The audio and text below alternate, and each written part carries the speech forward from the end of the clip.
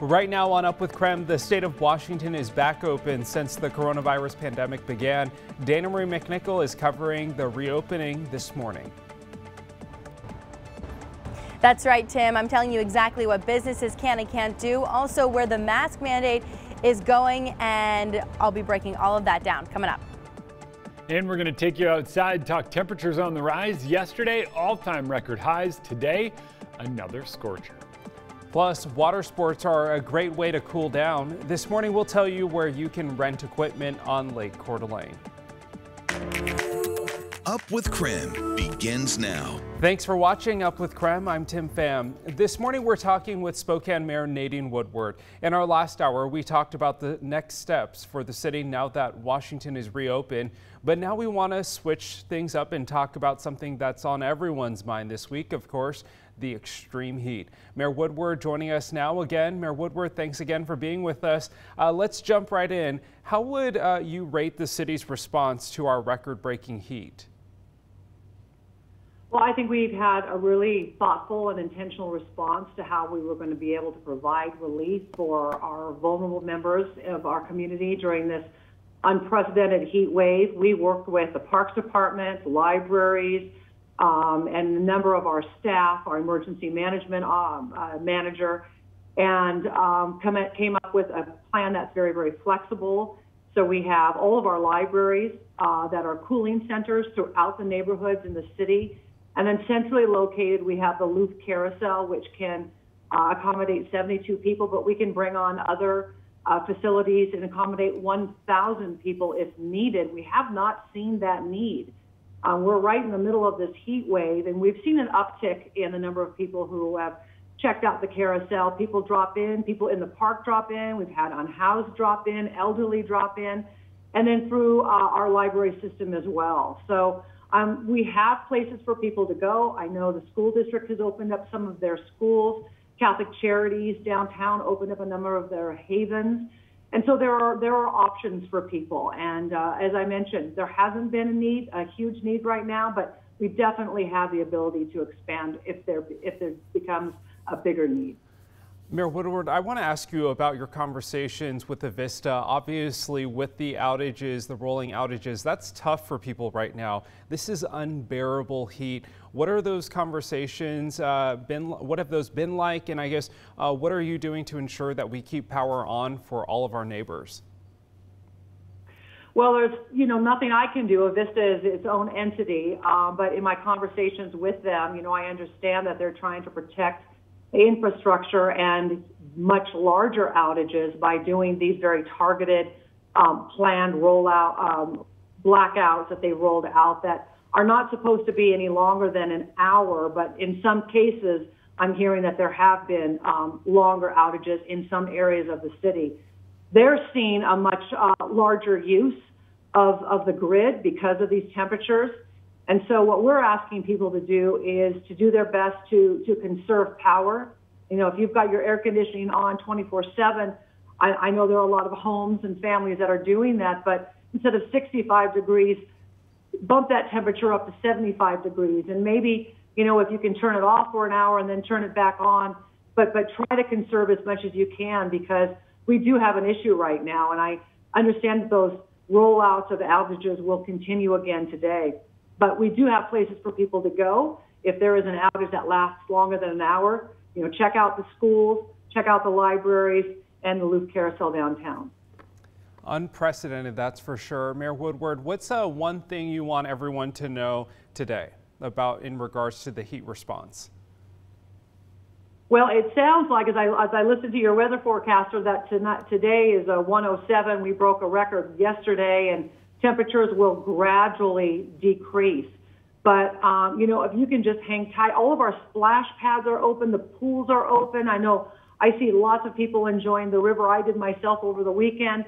Uh, we have lots of parks. We have 105 different parks that people can enjoy um, with lots of trees and shade. But, you know, do whatever you can. Not everybody has air conditioning in our city.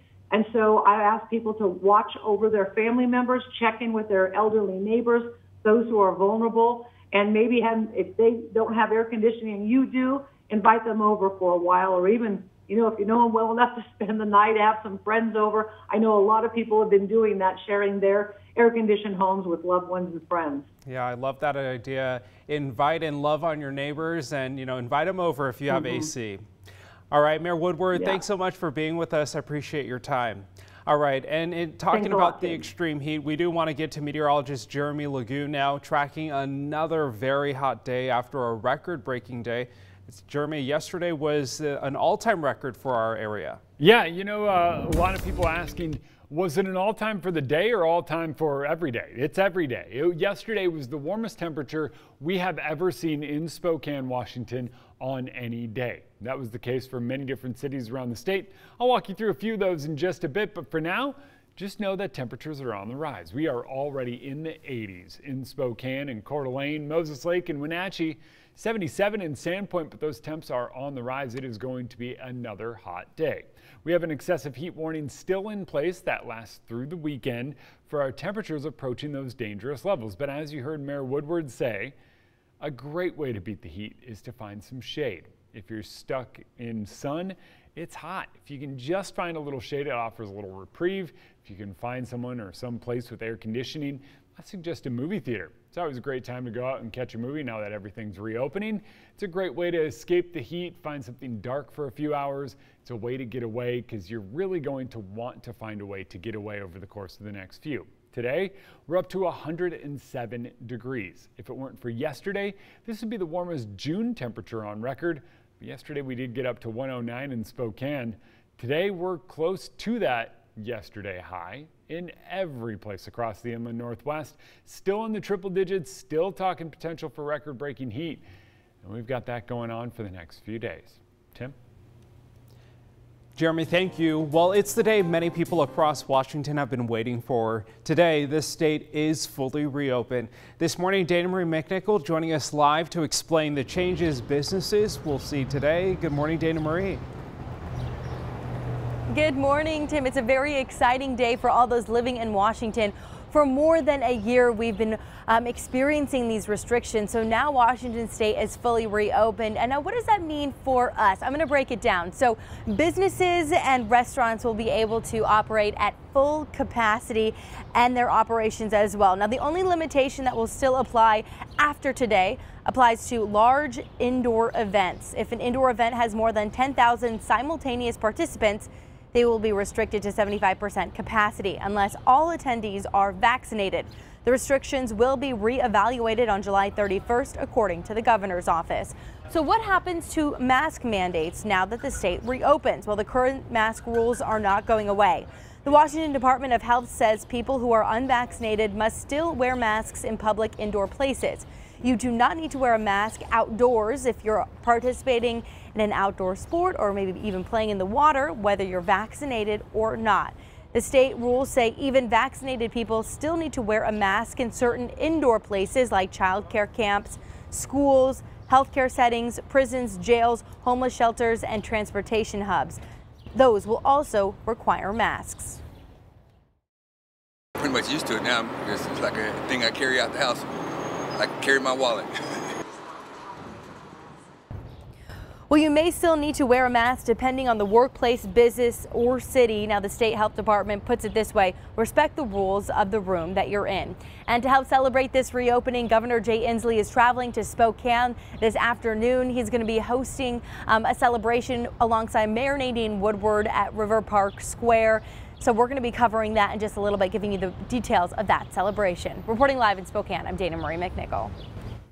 Dana Marie, thank you. Taking a live look now at Avista's power outage map. There are no outages being reported right now, despite Avista saying power outages would be over by 8.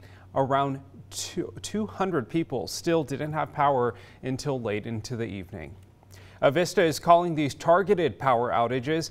To be clear, it's different from the rolling blackouts we've seen in California and Texas. Those states use the rolling blackouts to prevent any catastrophic electrical grid failure. Texas and California didn't have enough power to meet the demand. And while demand is extremely high for our area, supply issues are not the case here. We have plenty of supply, but it's the transformers that can't take the heat. The substations are like the heart, and so we really have to protect them because if they are damaged, um, then that can cause significant issues for the neighborhoods that they serve. Places that have been or will be impacted include parts of the South Hill neighborhoods in northeast Spokane, such as Logan and Hillyard, and some places in northwest Spokane. Parts of Spokane Valley near Barker Road may also experience outages. Now, there are a lot of elements when it comes to this heat wave. That's why we're making it easy for you this morning.